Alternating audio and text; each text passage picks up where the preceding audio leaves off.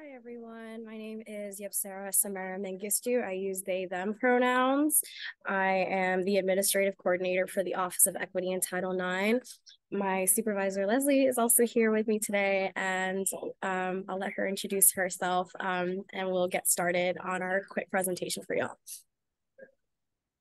Hi, good morning, everyone. Can you hear me okay? Yeah, Anna, I see you nodding. I can't see everyone. Okay, great. Um, so welcome to American University, and I'm happy to be with you for the next 20 minutes or so. I'm going to talk pretty fast, um, and I hope that I will have opportunities moving forward to connect with all of you and um, of course serve as a resource to you um, on these issues that we'll talk about today um, throughout your time here at American University. And I'll just apologize in advance. I'm not in town, I'm on vacation. If there's a little bit of noise, I've got my background up. It's because I'm with my family um, and they are moving around behind me. so, all right, if Sarah's going to help me out with the slides, since I just have my laptop and I was pretty convinced that I would not be able to manage it all on the laptop screen. So we can get started. All right. Um, just give me one moment. Sorry, all. I'm having some technical difficulties. Which I certainly knew I would have.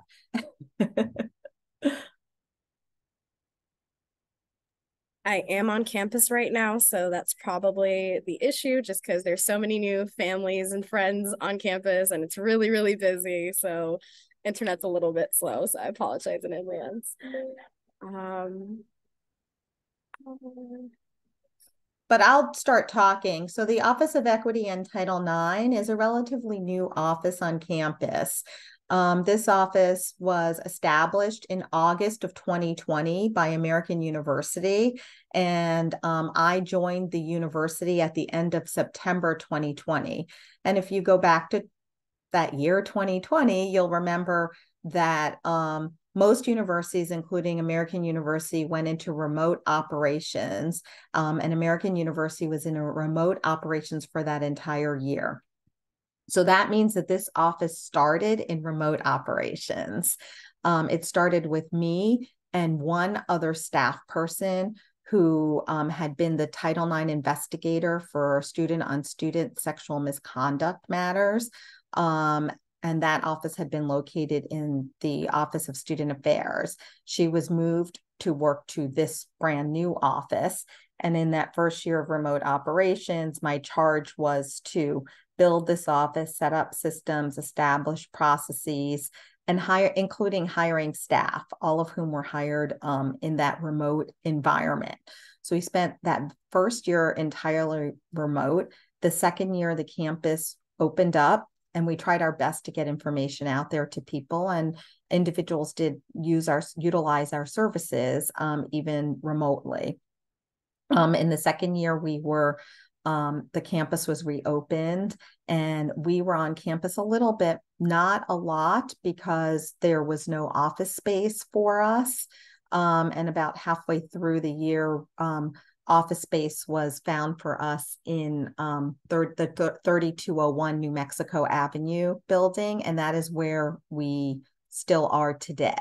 So you can find us at 3201 New Mexico Avenue on the third floor, and that's suite 395. Um, we do operate as a hybrid office, so um, different staff people are in the office on on different days. Um, pretty much Monday through Thursday. Friday's not as much anyone's there. Um, but the office, given the nature of the work, we do do pre scheduled meetings with individuals. Um, and most of those meetings tend to be virtual, although individuals can certainly meet with us in person if they'd like to do that. It just takes a little bit more coordination, um, particularly with um, with anybody, staff and faculty, because of the movement in and out of the campus, and with students, because frankly, we're not right in the um, regular pathway that they are walking all day on campus. So, Sarah, are you ready? Maybe not. You're muted. I should be. I'm sorry. It just won't let me scroll from slide to slide for some reason. Um, but Yes, I will forward it to you right now. Sorry. Mm-hmm. Are you forwarding to Anna? She's forwarding to me, and I will I will move through the slides. Okay. So the first slide would really just talk about what our office does. So we're, and so I'll start talking. I can do this. We are the office that is responsible for the university's response to reports and complaints regarding discrimination, harassment, and sexual misconduct. So you will commonly hear people on campus refer to us as the Title IX office. And Title IX, of course, is um, uh, the federal law that prohibits sex discrimination in education programs or activities that receive federal funds, which American University certainly does. But our office is the Office of Equity and Title IX, and we in fact encompass all and respond to all of the discrimination and harassment based on legally protected categories that might occur um, within our education programs and activities. We are responsible for engaging in informal resolution as well as formal resolution. Formal resolution is a complete and thorough investigation, and it is the only way anyone could be disciplined at the end of any process we are engaging in. We provide supportive measures. Uh, thank you, Lindsay. That's where we are. Perfect.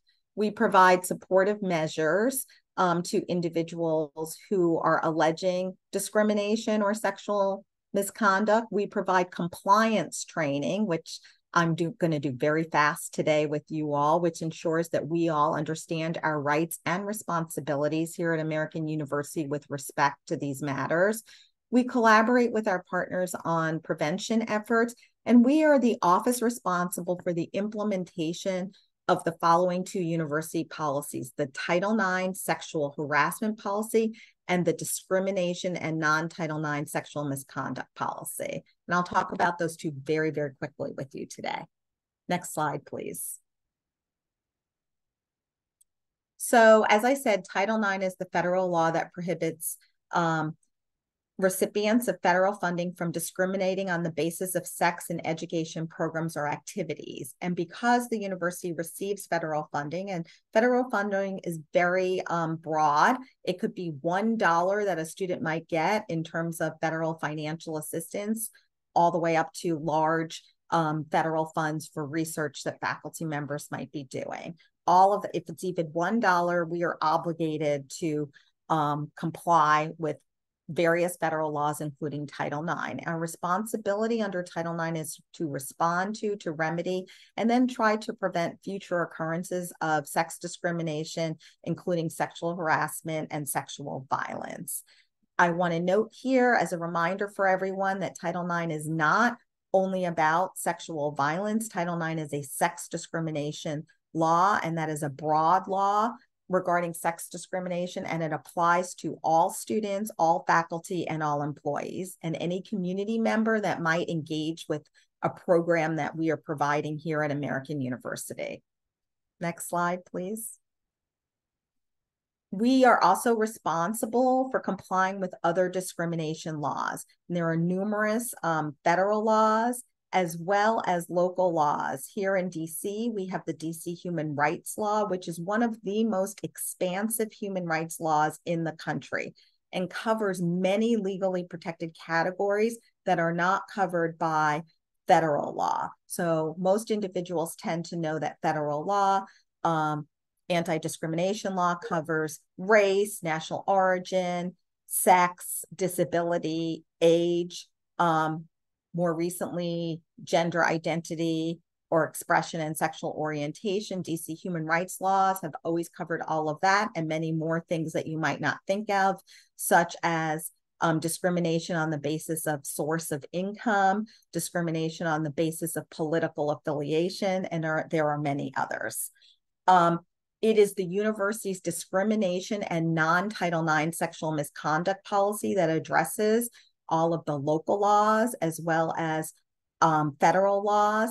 And it is called non Title IX sexual misconduct policy because it also covers sexual misconduct that does not fall within the purview of Title IX sexual harassment.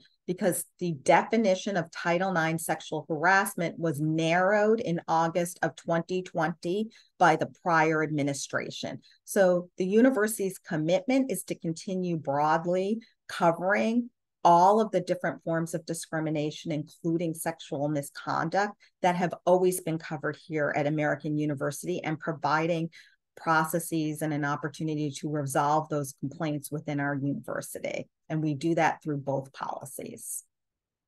Next slide, please.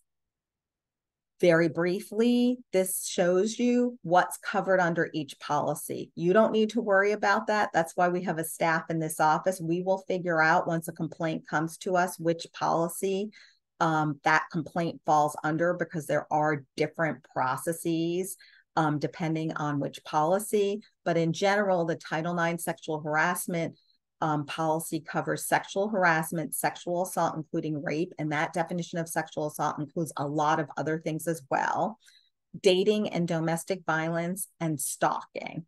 And this covers conduct that occurs in any AU education program, whether that's happening on our campus or um, in an off campus venue, but it's our program that we're delivering and within the United States.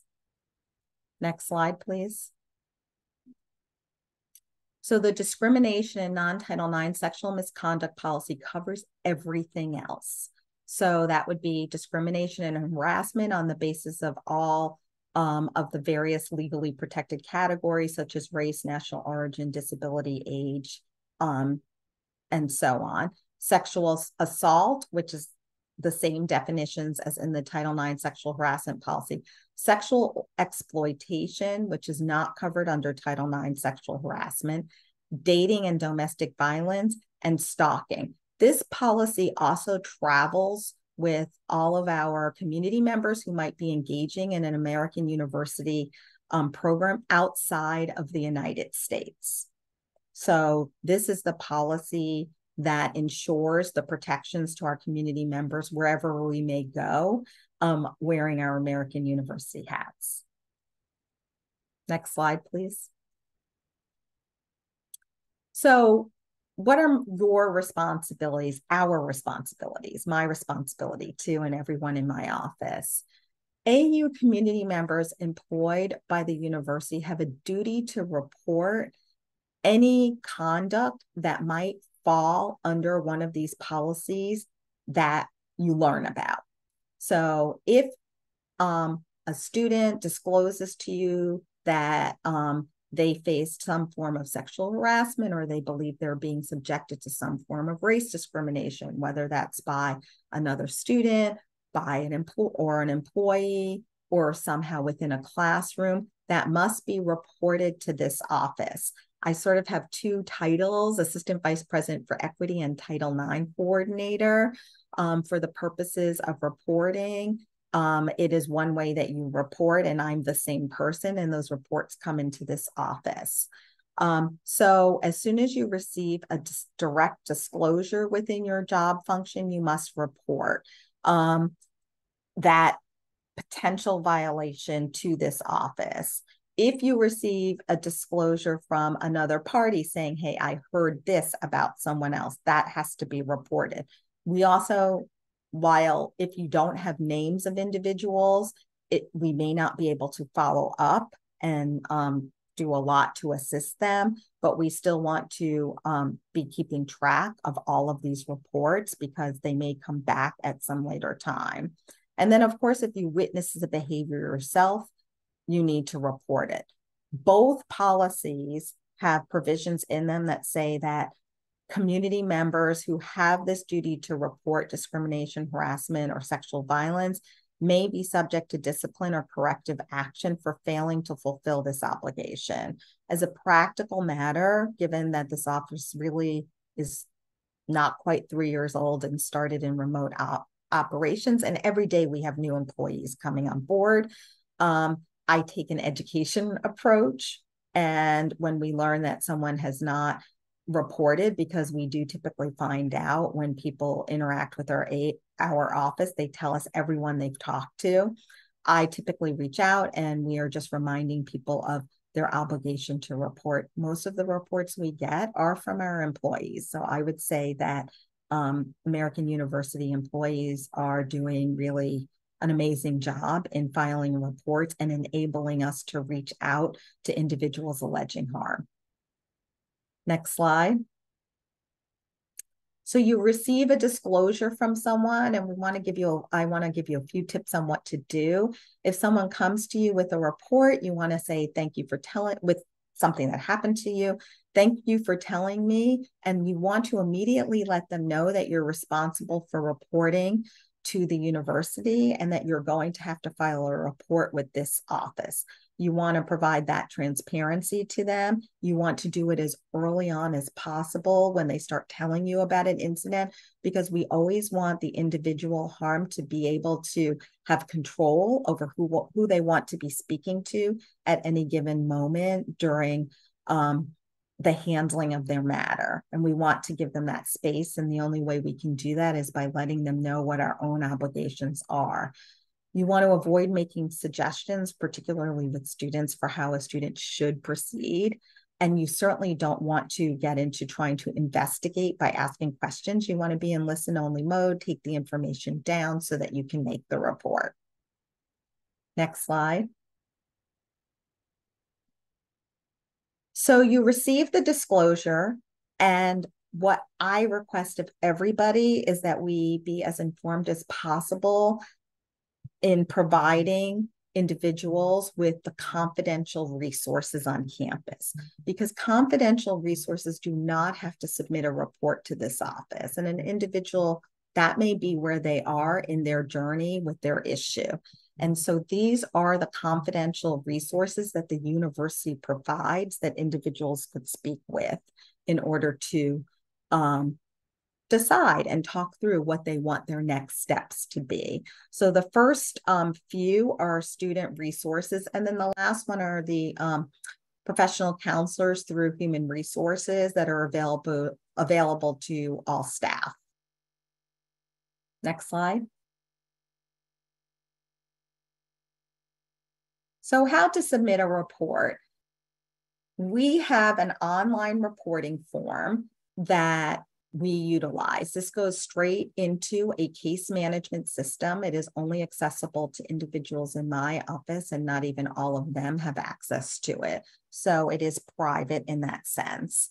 And that reporting form allows us to immediate, pretty immediately send outreach to the individual who is alleging some form of discrimination, harassment, um, or sexual violence.